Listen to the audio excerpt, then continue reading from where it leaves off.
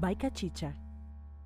Viene en un programa de este país es Giovanni Vicente. Es así. Sí, sí, es muy bueno, sí, Giovanni. Bueno, pues Giovanni, eh, señores, ha tenido el privilegio y el honor de el Washington Post, el periódico famosísimo de la ciudad de Washington, ha hecho un reportaje comparando la enfermedad de COVID de Donald Trump con la afección que tuvo el hoy presidente Luis Abinader en campaña. Ellos han dedicado un artículo eh, comparando las dos situaciones, las posibilidades de Trump ganar y dentro de ese reportaje que publicó el Washington Post, pues nuestro corresponsal Giovanni Vicente fue tomado en cuenta para dar su opinión Claro, allí. claro. Y lo pueden buscar en el diario libre, lo pueden encontrar. Vamos a ver si José nos ayuda a colocarlo para que la gente Sí, porque que siga tu mañana lo- vea la noticia y pueda leer el reportaje para que pueda leer la intervención de Sí, porque- Giovanni Vicente. por- y mírenlo ahí. sí, Está en el diario libre, pero está en el Washington Post. sí. Mira, lo, eh, eh,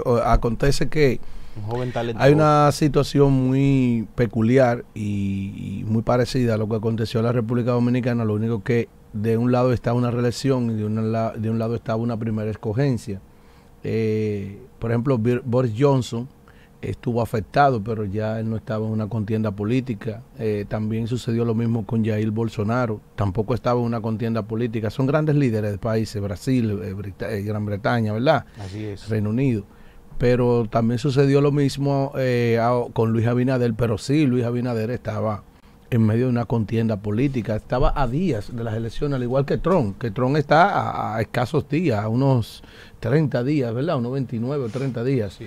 de las elecciones.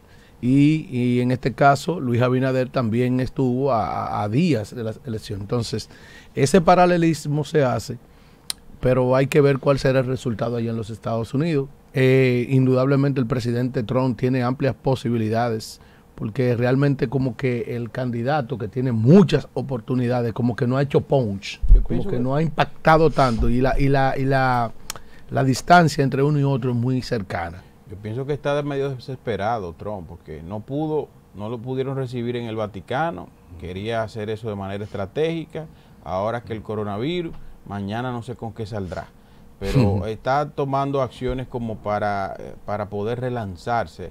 Pasó incluso en un vehículo que no creo que estuviese con la seguridad del lugar, porque no era la bestia, era una, una, una Jeepeta Cadillac.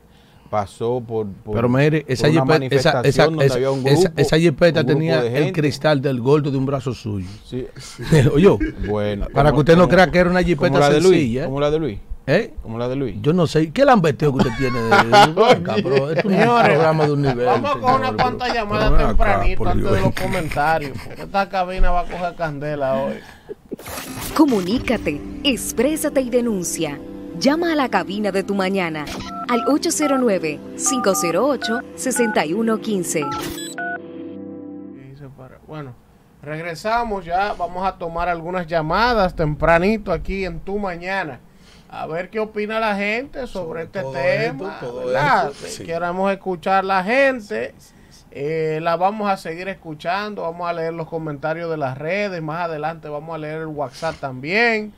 Eh, y vamos a ver qué opina la gente. 809-508-6115. antes, antes de ir antes de ir a los comentarios eh, es importante saber qué opina la gente sobre todo este todo este mare magnum todo estos acontecimientos del fin de semana hacia acá Eh, una, una situación señora así- Tu mañana. Baica Chicha.